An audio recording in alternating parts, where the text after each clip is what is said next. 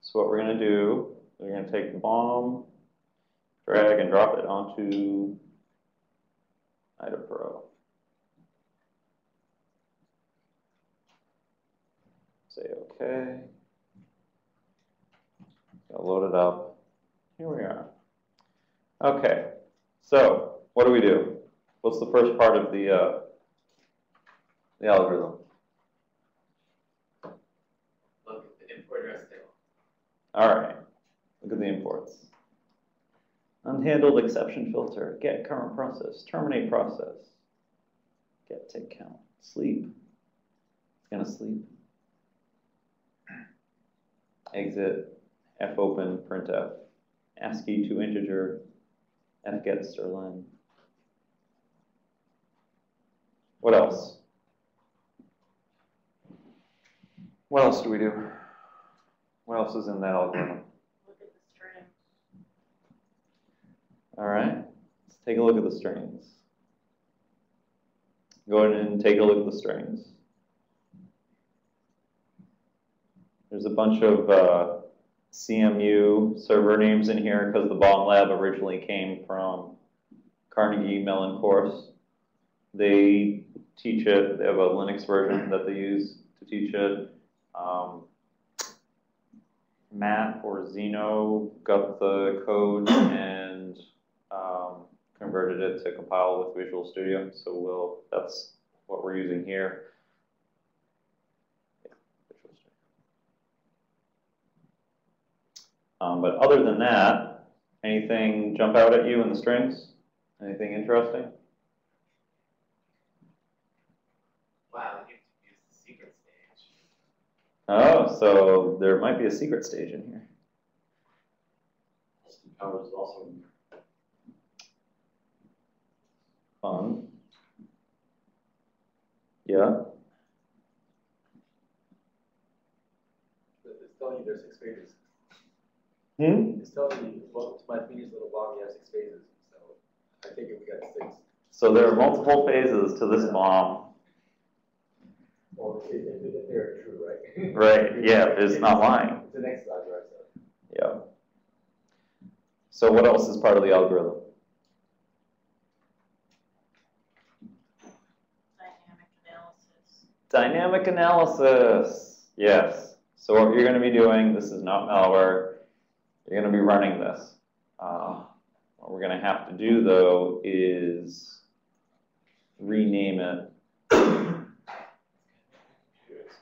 Um, actually, I'm curious. I may not actually have to rename it.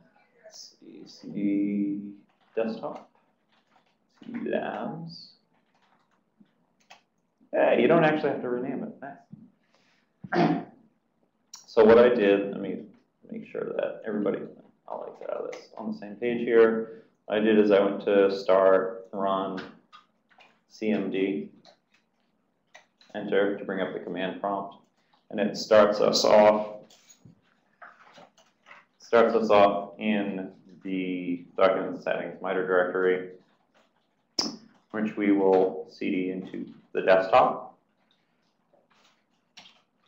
And then from there, cd into labs. And then run bomb.ex underscore. Um, for those who don't know, Windows does have tab completion, so I just typed bomb tab. Can you magnify or, yeah, Um, oh, increase, mm, maybe. maybe use Windows magnifier? That'll look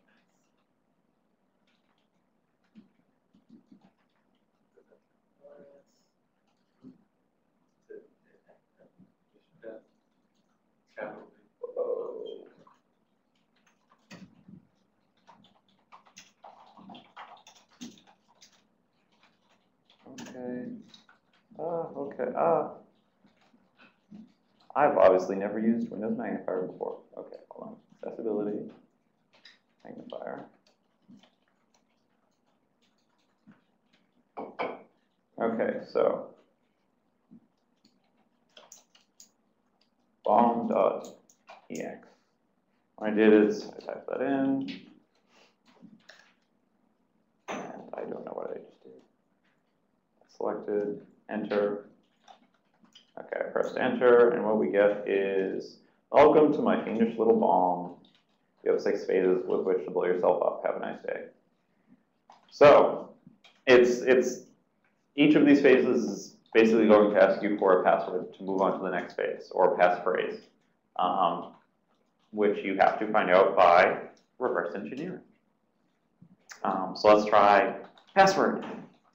All good passwords are passwords. Enter. Boom. So, what might we want to do? What information do we have that we might want to use to, to identify where to look? To find the passphrase that it's requiring? Well, it's in the strings file. Huh? It's in the strings file. In the strings file? Yay. I, Yeah, it's in the strings file. Or in this, not the strings file, in the strings window, it's in the strings window? yeah, What's in the strings window? the password. The password is in the strings window. That's crazy. Who would ever do that? How do you know which of the strings is the, is the right one? Do you really wanna know? Have you done this before? Because we did this one in the intro to X eighty-six class.